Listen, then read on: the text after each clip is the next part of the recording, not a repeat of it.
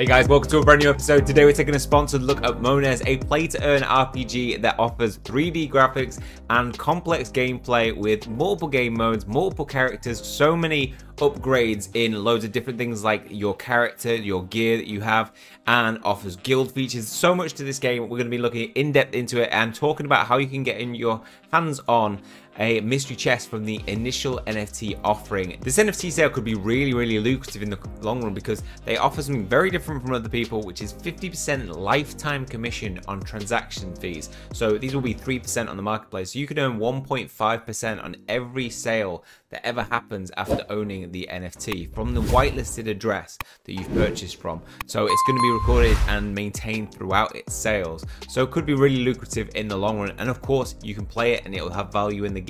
You can upgrade it. And yeah, then you can choose to sell it on. And if loads of people sell it on beyond you, you can make a serious investment return. We won't be waiting long for this one as well. Once you've got your NFT assets, you'll only be waiting until the 10th of May to be able to play the mainnet launch. So this game is going to offer a lot. We're going to be taking a look at everything in terms of the details, trailers, website, uh, white paper, how to get involved in the NFT offering. We're going to be taking a comprehensive look at everything you need to know how to get involved in this project and what it has to offer.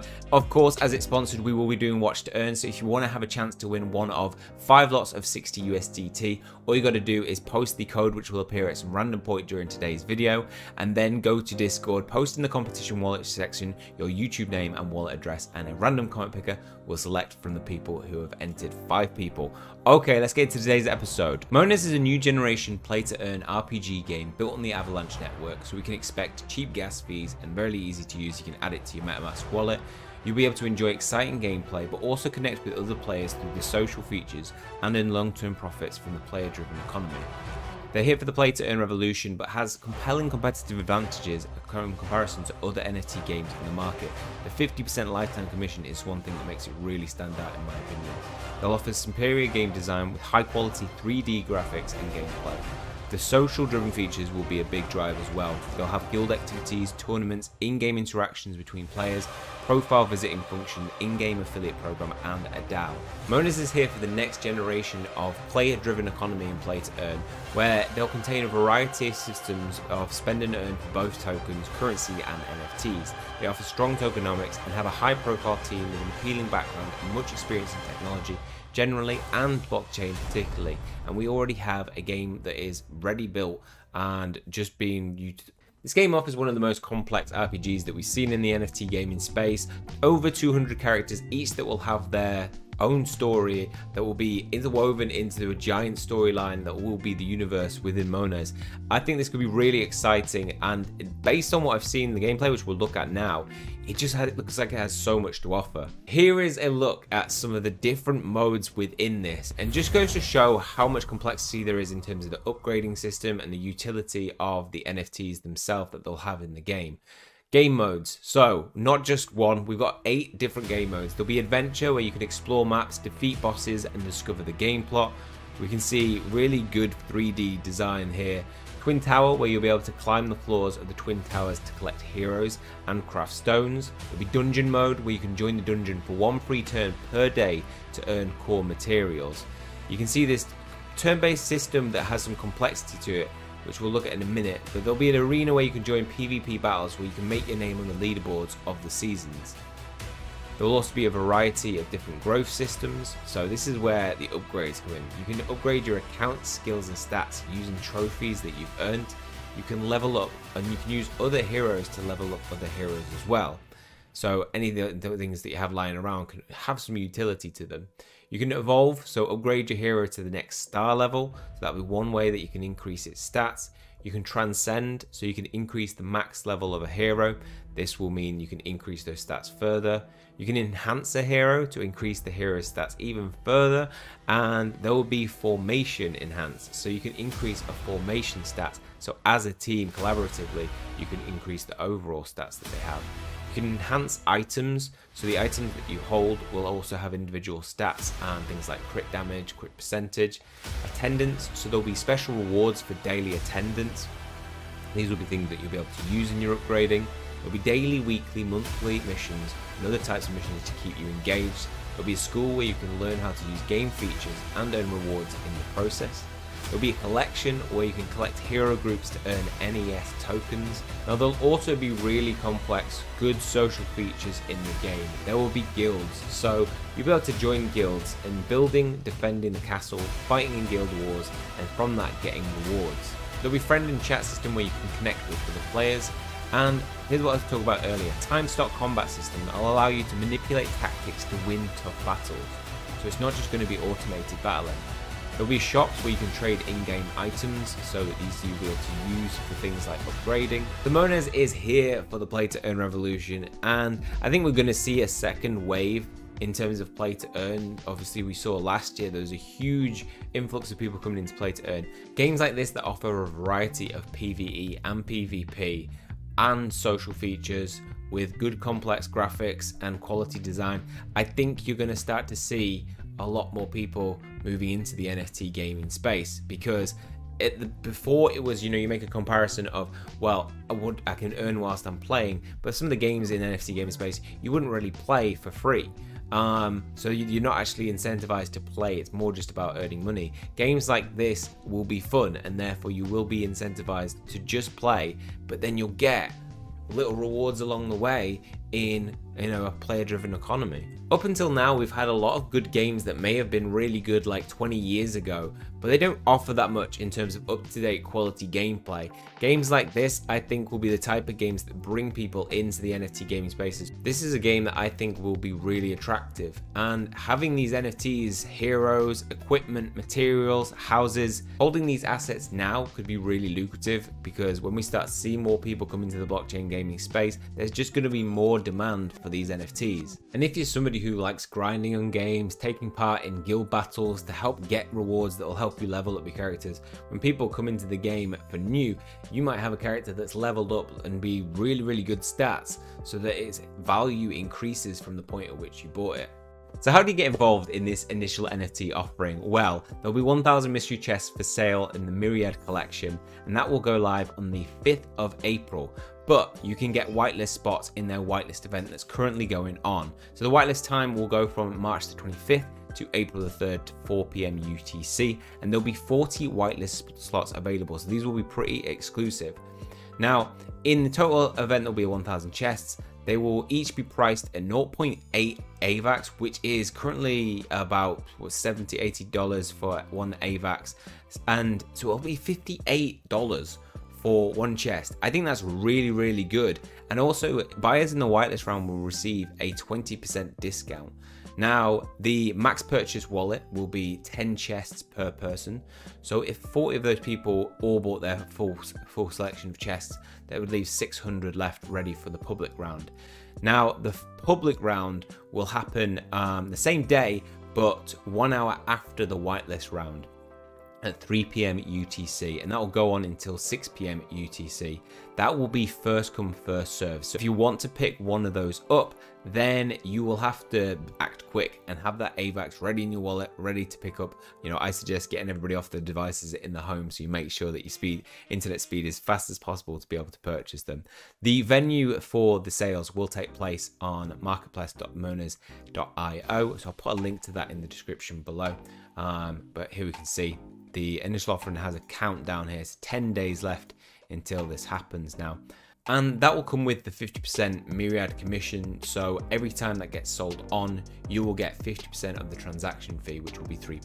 So here's a selection of some of the heroes that you'll be able to pick up. And remember, in game, these will all be converted to 3D game avatars. Now, this will be the first of few batches. So if you do miss out on it, don't worry. There are 9,000 mystery chests in total to be sold in future batches. Each chest will contain one random NFT corresponding to a hero.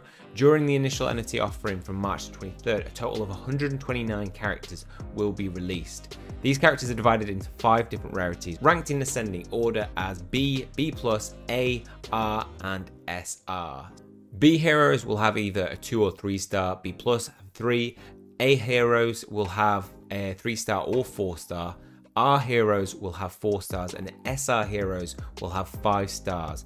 Note that the 1 star heroes will not be sold in mystery chests, but they may be likely to appear in the game later on. If you want to see the specific heroes available, you can go to the white paper, which will also be in the description below, and you can check out the different heroes that are available for the different star ratings. That will also detail the skills that they will have, and some of their hostility, whether they have it. So you can see hostility towards Luna and Xian for Iris. The drop rates will be as follows. So there will be a 40% drop rate for B rarities that have 2 star, 31.5% will be um, 3 star Bs, and then when we go all the way down to SRs, they will drop at 0.5%. Um, and the rate per hero is 0.02 so there'll be a variety of different heroes obviously that you can get from that. Select heroes will be really really rare then. Getting them will be 0.02% and being that there's 1000 mystery chests for sale you could be one of the only holders of one five star SR so they could hold a lot of value in the future. You might be wondering how you can get a chance to win one of the whitelist slots. So as mentioned, there was 40 whitelist slots available and they will come through various social um, actions. So joining the Telegram group, chatting the most, top 10 users will get a chance to win a whitelist spot. In Discord, there's three different ways you can win in there. You can either be um, invite people to the server, whoever has the most invites will get an access, access to the whitelist spots. 10 members will get that. You've got the top Mones adventures. So just from chatting with members, discussing the game, talking about things in the Mones channel, oh, you can have a chance to win one of those whitelist spots. And then we have 10 spots going to people who promote the game in a variety of different ways through social networks like Facebook, Twitter, other Telegram groups, Reddit, and YouTube. So let's check out their pitch deck next to have a little bit more in-depth look at the project, a few extra details. So if you're not really sure what they mean about different generations, first gen was NFTs, the really within the gaming space. Second gen with things like Axie, uh, Infinity, Gods Unchained, Alien Worlds, and now third gen is really where we're at seeing NFTs with play to earn but better quality. Fourth generation and onwards will likely see bigger companies like Ubisoft, Sega coming into the NFT game space, AAA game titles. So the problems with second gen were that uh, low quality games, third gen's looking to bring higher quality with real-time PvP, gameplay that has a lot of replayability. Third gen solution for NFTs is that almost all objects will be NFTs, and that gives more uses for earning and burning tokens. To manage the problems with creating a sustainable economy, you've got to manage things like inflation. So they have anti-inflation mechanisms that mean there's going to be more complex ways to stimulate players to reinvest into the game. Um, loose communication between users definitely a problem in second gen. Third gen, like this game, will bring more social features to connect players within the game, not having to go to Discord to, you know, organize a clan, actually being able to do that all in game from your device. The game will be really accessible as it will be available on iOS and Android devices. It will be available in both English and Korean, and they're targeting really mid and hardcore mobile RPG gamers, people who do want to grind. These type of games are ones where you see people really investing a lot of time into playing these games. Business model will be free to play and play to earn. Now, the competitive advantages they have is the attractive gameplay. You know, we don't see many games like this bringing this quality of 3D design. We see a lot of turn-based gameplay that is 2D. Um, we're starting to have gameplay that's more complex as well. This will make it massively different from some of the games that we've looked at over the past couple of months. They'll have unparalleled social features, a novel player-driven economy, dynamic tokenomics, and a high-profile team. They want the gameplay experience to be addictive and have that real replayability, and they'll do that through increasing difficulty challenges, engaging storylines, and varied game modes. To earn from Mones, you will need a good strategy and spend time researching and playing the game. As mentioned, they will have over 200 characters, but there'll also be thousands of different Mones costumes and items designed to every detail with using the Unity technology. The design they're going for in the gameplay is very anime style. They've got 3D graphics that will be especially suitable for the Asian gamer community, but I think it has mass appeal in loads of other regions as well. These social features are where it's going to definitely stand out from projects that haven't had this complexity in recent games that we've seen releases. So they will have guild features like Declaration of War, Guild War, Kingdom Rule, and Tournament Mode. Now each guild will be able to own their own castle. So there will be four areas, Driveway Square, Outer Castle, and Inner Castle. Guild members will be able to defend their castle by placing their heroes in each area, and guilds can attack them, so hostile guilds will be able to take over the castles if they can. There will also be a guild lab. This is a place where you can increase both quantity and quality of your guild members with features like member expansion, training guide, and guild skills. You'll be able to upgrade the different areas of your guild castle from ramp, plaza, outer castle, and inner castle enhancement. You'll be able to go to a guild shop where you'll be able to earn rewards according to your guild participation rate and also purchase goods with guild flags. The Kingdom Invasion feature will be where a guild can wage a war to occupy 5 kingdoms on the server. A guild war will take place in the following order, so there'll be a declaration of war, war is declared on the other guild, and each guild will prepare for the war. Then there'll be the guild war, fierce guild wars through the siege and defense of the castle. Then there'll be the kingdom rules. Guilds that have won Guild Wars will occupy and rule that kingdom. I think there'll be some real fierce competition in this area. Now, moving forward, they have a novel player driven economy. You can look at all the mechanics. This is really just looking at adding utility to a lot of the NFTs that you have and also giving you some incentives to spend those tokens to progress and become more of a competitive player. Having these guilds and tournaments and competitions, these are things that will incentivize people to use the token.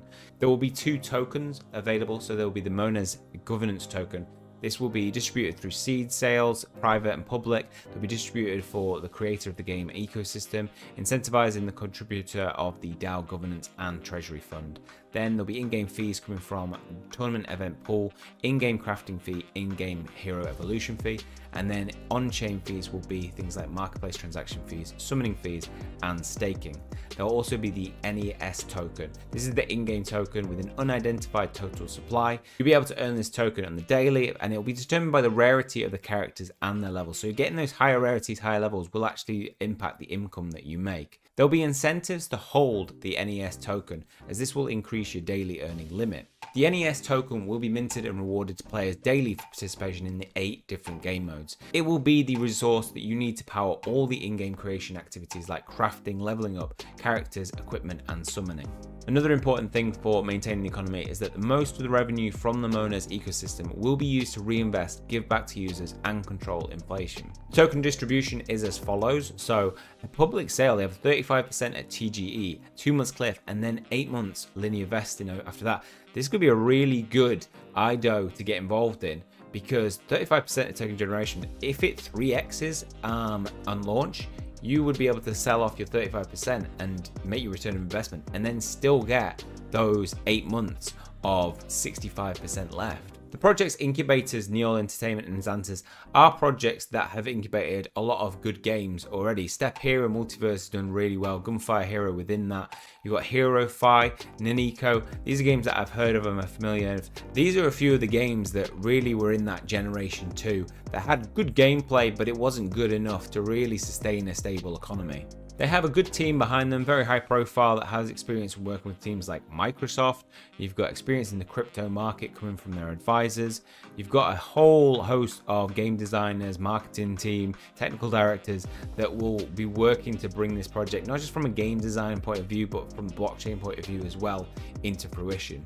So the things to look out for really are April the 5th, initial NFT event offering, batch 1, marketplace release. Get in, follow the socials, which will all be down below to get involved in some of those chances to win a whitelist spot. You've got April the 26th, testnet version will be released. So we're going to be waiting a month to be able to actually access the testnet version. Then April the 27th to the 30th, there will be the initial NFT event batch 2 offering. There will be the mainnet version release as stated in May May the 24th, we can expect the Mones IDO, so that'll be for the token, running through to the 30th. Then June the 10th, game update version 1.1 will include guild features, tournaments, and summoning. They have plenty more planned beyond that, so following on from that, we will see a lot of updates in Q3, Q4, Q1, going all the way up to Q2 for version 4.0, and then Q4 we'll see version 5.0. And that'll be really when we'll see all these features like Colosseum, duel mode, crafting, release of charms.